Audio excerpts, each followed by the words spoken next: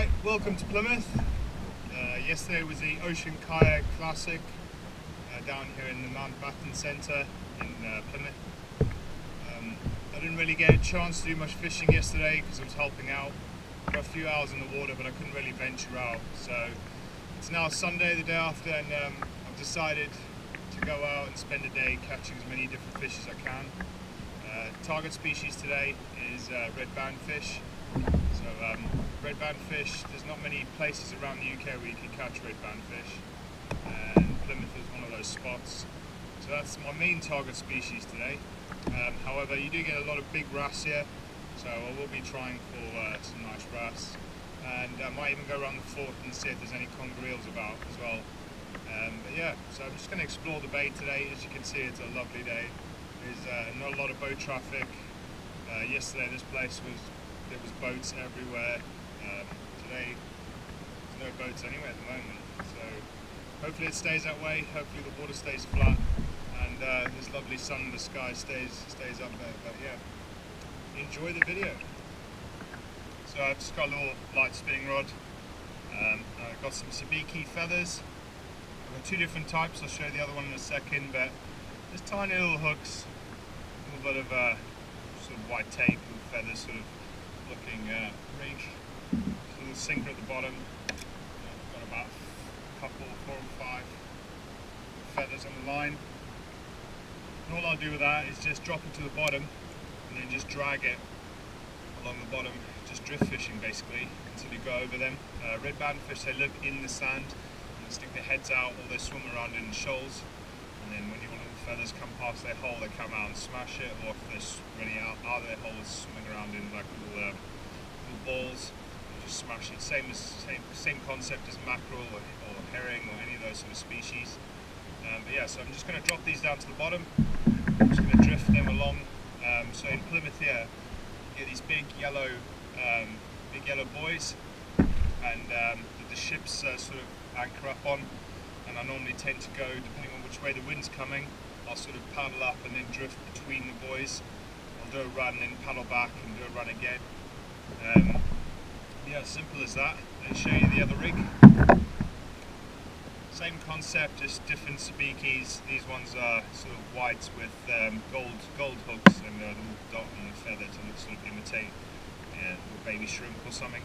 Same again, five or six of them. It's got a couple of little weights. Common to get uh, a few of them in a string, so you get like three or four, you know, depending on how many feathers you have, depending on how fish you are, but it's not, it's not uncommon to get a few in a string. Um, so I'm going to chuck this out now, and hopefully, uh, hopefully I can uh, show you a, a red bandfish.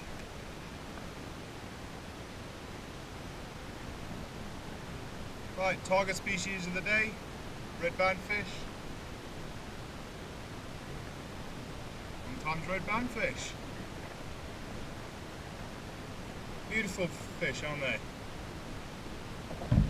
Check him out.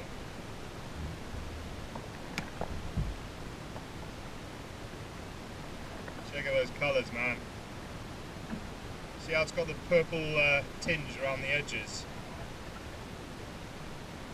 It's definitely not a fish you'd think you'd catch in British waters. Looks like some tropical fish you'd probably catch abroad. There you have it.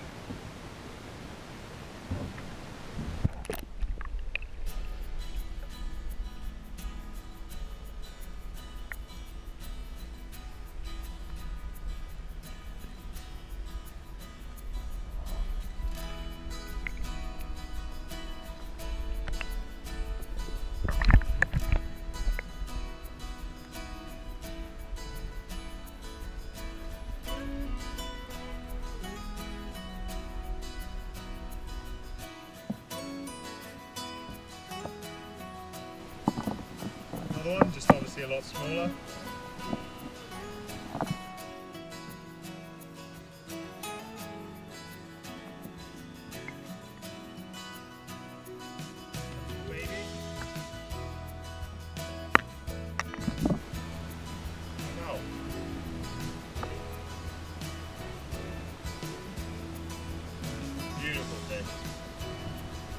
Purple on the tail.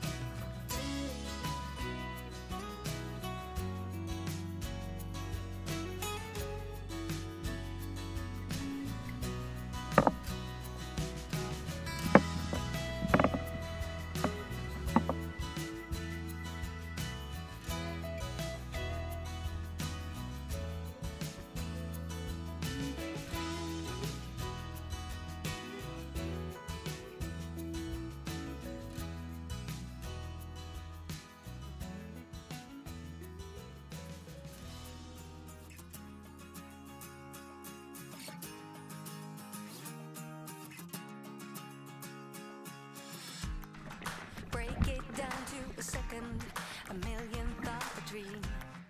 Go, go, go for the limit with the power of belief.